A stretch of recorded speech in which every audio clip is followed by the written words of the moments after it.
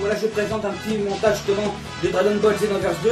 Alors je vous explique que là j'ai fait une petite vidéo justement concernant les techniques qui sont un peu difficiles à déclencher par moment. J'explique euh, un peu proximité et tout. Il n'y a pas euh, les attaques ultimes, les attaques spéciales, tout ça. C'est plus justement pour expliquer justement les attaques comme le stamina break, les gardes parfaites. Je vous laisse regarder la petite vidéo justement du didacticiel euh, dès tout de suite.